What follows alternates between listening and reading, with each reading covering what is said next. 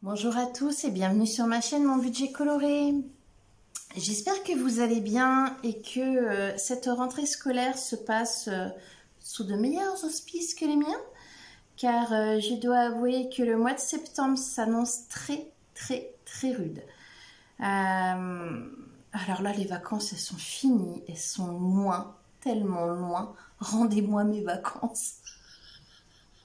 je veux pas, je veux pas arriver au mois de septembre.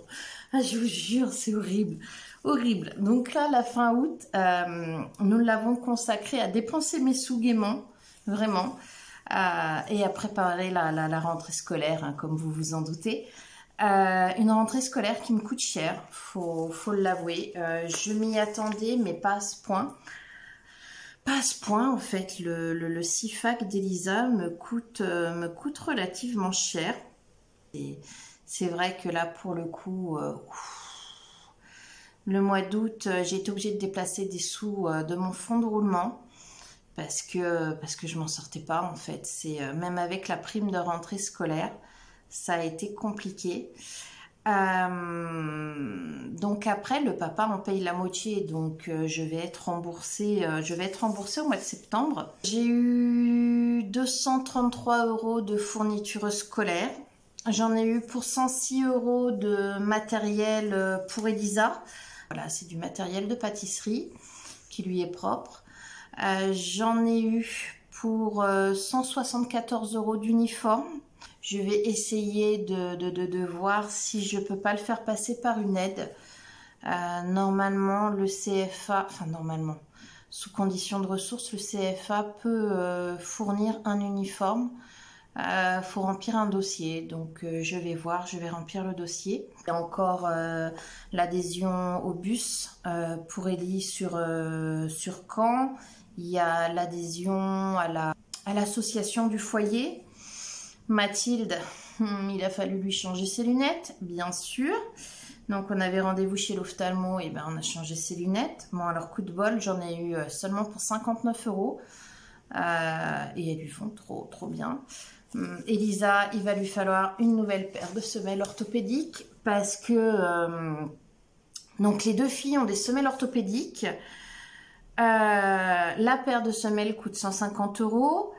Euh, mais à savoir que euh, la paire de semelles orthopédiques d'Elisa dans sa paire de chaussures de sécurité ne convient pas. Il faut la, recouper et euh, enlever au bas mot un bon centimètre au niveau du talon donc, résultat, ne pourra plus les mettre dans ses chaussures de ville ou dans ses tennis.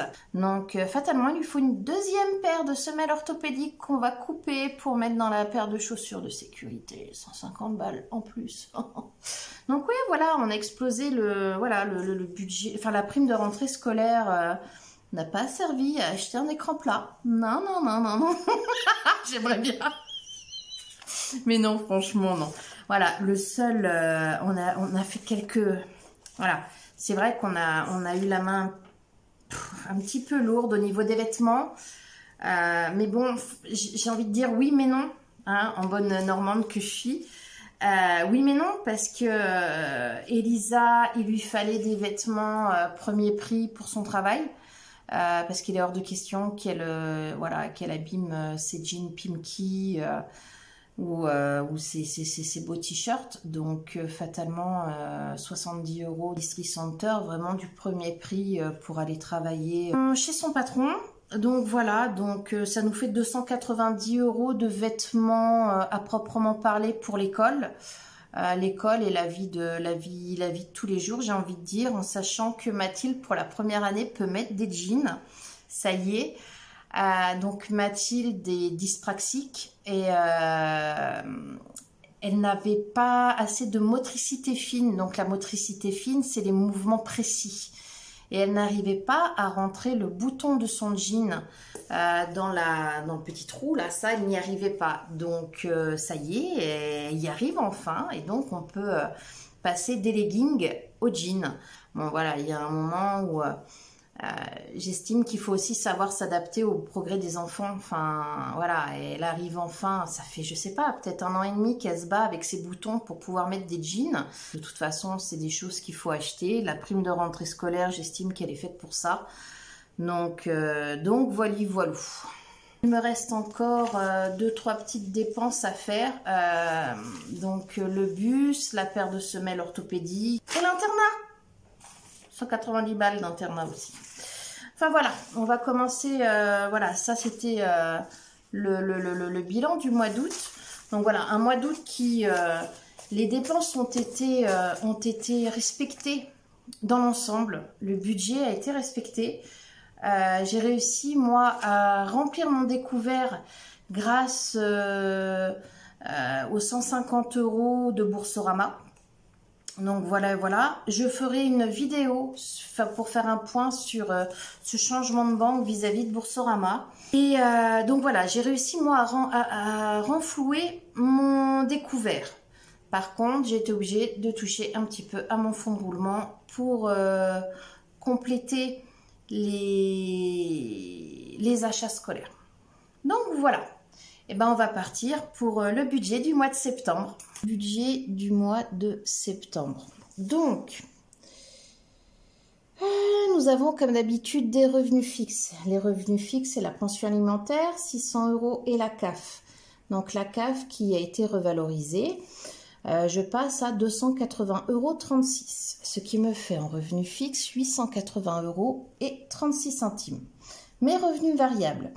J'ai un fichier en édition à 171,58 euros. Le remboursement de mon ex qui me doit un petit peu plus de 350 euros, mais qui va déjà me rembourser 270 euros ce mois-ci. Et il y a la fameuse aide solidarité de l'État. Normalement, vous avez reçu, si vous y avez le droit, vous avez reçu un, message via la CAF. Donc moi, comme je touche les APL, j'ai le droit à cette aide solidarité qui est de 100 euros plus 50 euros par enfant. J'ai deux enfants, donc 200 euros. Donc mes revenus variables sont de 641,58 euros, ce qui me fait en revenu pour le mois de septembre de 1521,94 euros.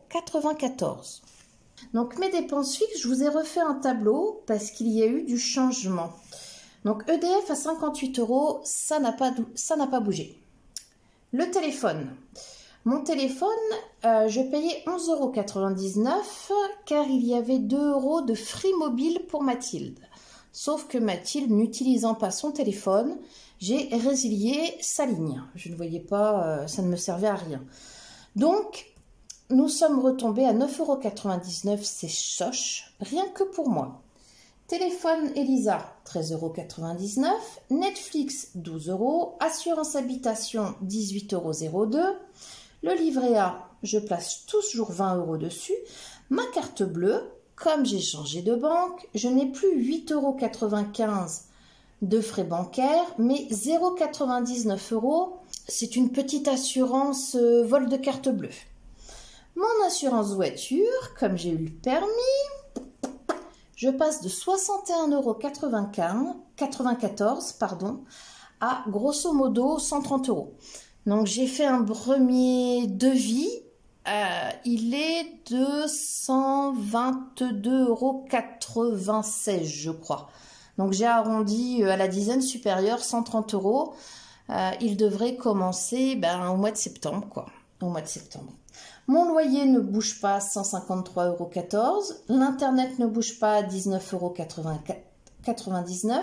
Spotify, 9,99 euros. J'ai arrêté Amazon Prime. Donc, euh, je payais Amazon Prime à l'année 49,99 euros.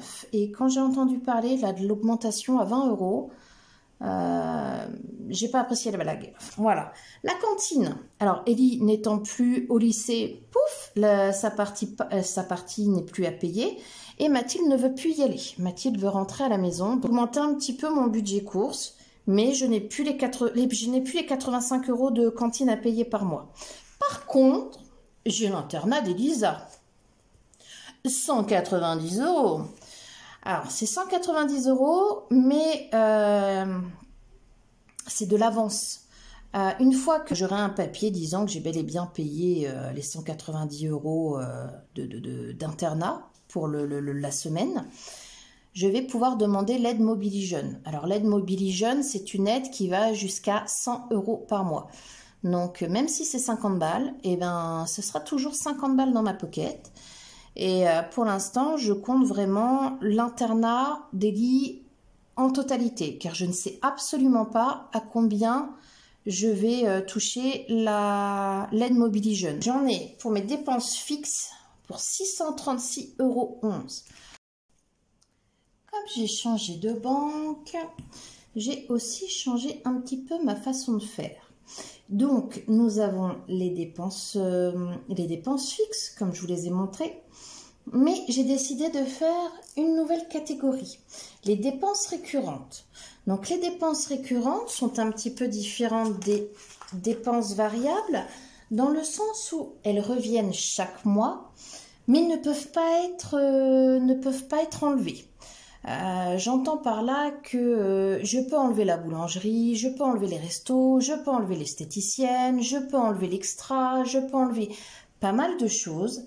Mais les dépenses récurrentes, c'est des dépenses qui bougent un petit peu dans leur montant, mais je ne peux pas m'en passer. Euh, par exemple, la psychomotricienne de Mathilde, donc c'est 40 euros la séance. Dans l'ensemble, il y en a 4 par mois, mais certains mois où il y a les vacances, il n'y a que deux séances, et certains mois où il y a 5 vendredis, eh ben, il y a 5 séances. Donc, le montant peut varier, voilà, entre... Euh, ça peut aller de 80 euh, euros à 200 euros.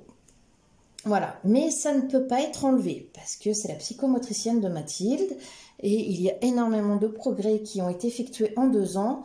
Donc c'est quelque chose sur lequel, euh, sur lequel je ne veux pas transiger. Les courses, c'est pareil. Les courses, euh, je peux grosso modo faire des courses pour 50 euros par mois, par semaine. Oh là, si ce serait par mois, ça serait bien. 50 euros par semaine euh, à l'épicerie solidaire. Mais il faut quand même que je remette un petit peu au bout. Il n'y a pas tout à l'épicerie solidaire. Donc, oui, je fais 50 euros grosso modo par semaine euh, de courses à l'épicerie solidaire, mais je remets 20 euros au bout, en gros, hein, euh, à Carrefour, parce que eh ben, il me faut du gruyère ou moi qui ai des problèmes au niveau de mes intestins, surtout en ce moment où la poussée de Crohn est de plus en plus, plus présente, je ne digère pas le lait. le, lait, le lait de vache. le matin, je bois du lait d'avoine. Mais le lait d'avoine, ça coûte quand même 2 euros la brique d'un litre. Donc euh, même si je fais attention et que je n'en bois qu'une petite tasse, ça reste, euh, ça reste un coût. L'essence, 70 euros. Donc pareil, grosso modo, hein, euh, je vais affiner ça au fur et à mesure parce que bah, cette année, Mathilde va sûrement faire du théâtre. je vais sûrement emmener Ellie chez son patron le matin quand il fera trop froid ou quand il va pleuvoir. Euh, j'ai pas mal de petits déplacements à la psychomotricienne, à l'orthophoniste, au enfin voilà. Euh, le fonds de secours, pareil, je ne transige pas avec, toujours 50 euros par mois. L'URSSAF, eh ben, change euh, tous les mois de, montant, c'est selon ce que j'ai travaillé. Donc là, je leur dois 130 euros. c'est un quart de ce que je gagne, l'URSSAF, à chaque fois. Donc voilà, 130 euros. Et l'assurance d'essai, euh, je la paye tous les trimestres. Donc au mois de septembre, elle est tombée 18,48 euros. Donc mes dépenses récurrentes, 708,48 euros. Pour mon reste à vivre, qui me fait un revenu fixe à 1521,94 euros, moins mes dépenses fixes, 636,11 euros, moins mes dépenses récurrentes, 708,48 euros. Mon reste à vivre est de 177,35 euros. Cependant, les semelles orthopédiques d'Elisa. Donc, comme je vous le disais, il y en a pour 150 euros. La sécurité sociale prend une vingtaine d'euros, grosso modo, à leur charge. Donc, il me reste ma part 65 euros. Donc, il me reste 112,35 euros pour mes dépenses variables. Je vous l'avais dit que ça allait piquer ce mois-ci. Hein. Donc mes dépenses variables, toujours les mêmes catégories. Donc déjà, on peut dire que l'extra va sauter, le shopping va sauter, la boulangerie va sauter, le restaurant idem.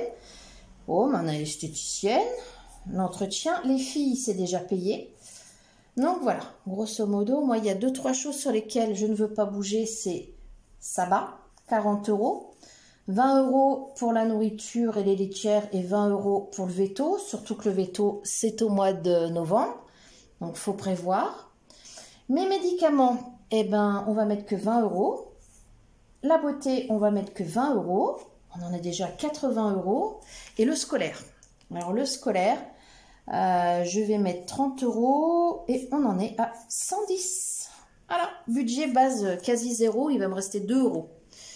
Et le scolaire, c'est euh, exceptionnel à ce mois-ci. C'est la coopérative scolaire et c'est l'agenda qui... Donc, ma foi, on va remplir, les enveloppes. Donc, toujours pareil, les enveloppes. Hein. Euh, l'alimentation, 70 euros. Hop, semaine 1. Comme Elie Mathilde ne veut plus rester à la cantine, en plus, il va falloir que je vois comment, euh, comment bien m'organiser pour pas que ça me revienne excessivement cher le, midi, quoi. Parce que Mathilde a un bon coup de fourchette, mine de rien. Mais en même temps, je peux la comprendre que la, la cantine la fatigue. La cantine la fatigue. Donc, semaine 3, 70 euros. Semaine 4, 70 euros aussi.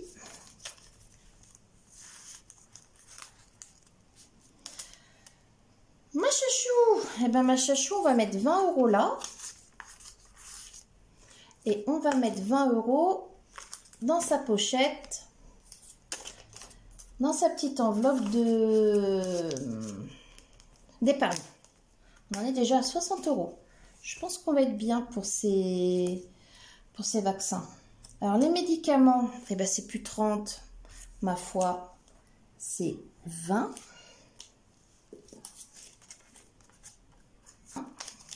La beauté, idem, 20.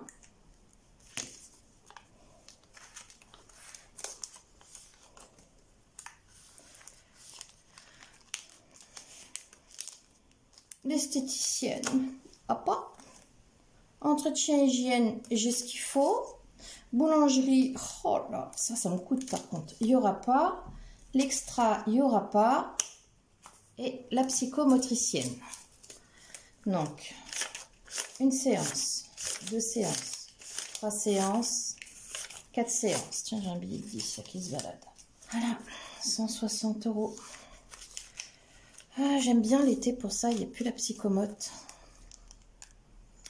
Ah bon.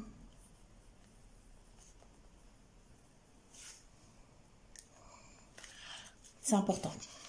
C'est une dépense sur laquelle je ne veux pas je ne veux pas transiger. Donc, euh. donc et eh ben, ma foi, la psychomote, nous l'avons fait. Les courses, idem. Donc, l'essence en carte bleue. À mon fond de secours. 50 euros pour le fond de secours. C'est important. Ah. Voilà mon fond de secours qui est fait aussi donc l'URSSAF tax, ça c'est en carte, enfin c'est un virement, c'est un virement. Médicaments 20, beauté 20, sabbat 20 plus. Ah bah le scolaire. Scolaire. 1,09, 30 euros. Voilà, comme ça,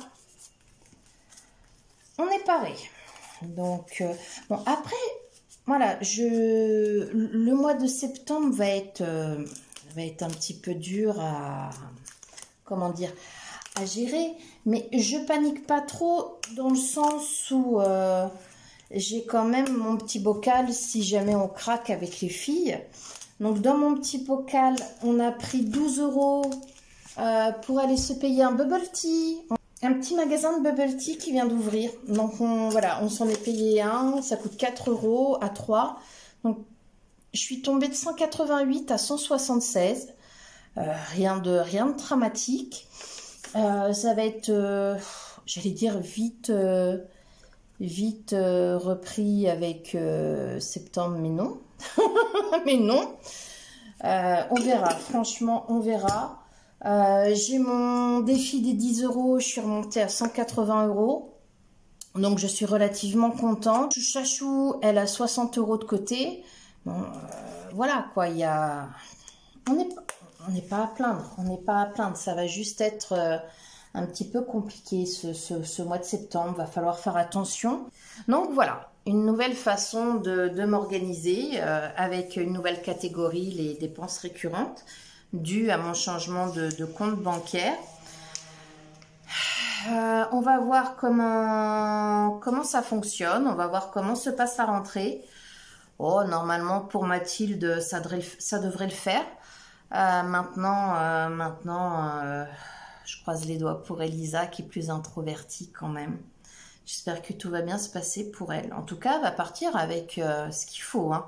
Aussi bien en matériel qu'aussi bien en, uniforme, aussi bien. Enfin, franchement, je, ne peux pas faire plus là. Elle a tout ce qu'il faut pour vraiment bien bien démarrer. Donc maintenant, elle a les cartes en main, c'est à elle de, de, bah, de se construire son avenir. Donc, euh, bah voilà, mesdames.